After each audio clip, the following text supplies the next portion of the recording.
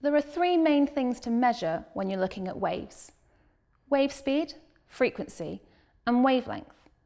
Now these are all connected through the equation wave speed equals frequency times wavelength. Now wave speed is simply the speed at which a wave travels through a substance or medium. Frequency is simply how many times a wave passes a point per second. And wavelength is simply the distance between two identical points on neighbouring waves. Now we measure wave speed in metres per second. We measure wavelength in metres. And we measure frequency in hertz. And hertz simply means per second.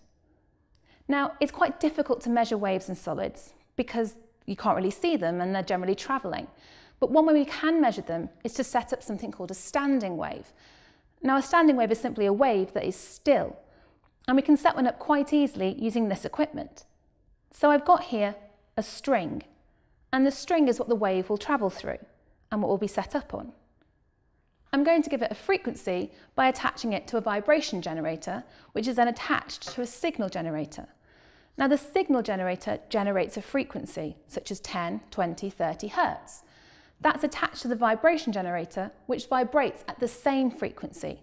For example, if it vibrates at 30 hertz, the, gen the generator is vibrating 30 times a second. The string is also attached at the other end to a weight attached to a pulley. Now this provides the tension for the string and allows it to vibrate. Finally, I have here a wooden bridge, and that wooden bridge is the point at which the wave will stop. After that, the vibrations are generally not going to bother the string. Now I've set this wave up so that it is one metre in length. There is one metre between the gen generator and the bridge. I'm going to try and make a wave on this by turning on the signal generator. Now you can see that the string is vibrating, but there's not a particularly clear pattern. To get one of those, I need to try and turn up the generator.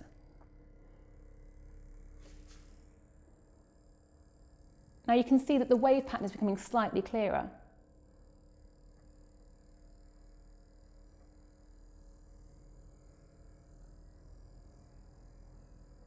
And there we go. We've set up what we call a standing wave. It's not travelling anywhere, it's staying where it is. Now this standing wave has a wavelength of one metre. If we have a look, the wave starts here, it goes this way and ends there. Now it's really important to note that this is not the wavelength. Many people eh, think it is. This is half a wavelength, so be careful with that. We also know the frequency of the wave because we just need to read it off here. And I can see that the frequency is 40.5 hertz. If I now wanted to calculate the wave speed, all I would need to do is put these two numbers into the equation.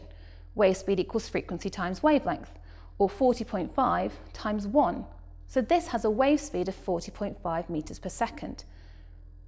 Now I can change the wavelength and see what that causes the frequency and the wave speed to do. And that's quite easy. All I need to do is move the bridge along. I'm going to move the bridge now to 90 centimetres or 0.9 metres. Now the wave's gone a little bit less precise, so I'm going to increase the frequency again until I get a better version.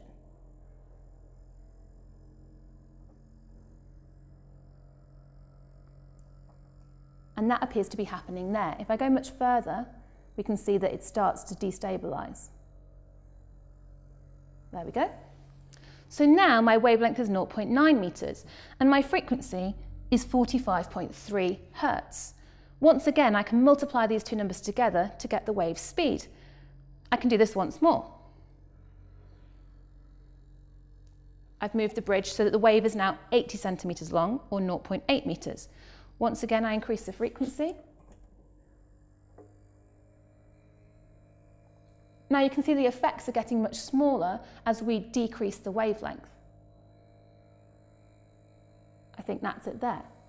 So now we have a wavelength of 0.8 meters and a frequency of 51.8 hertz.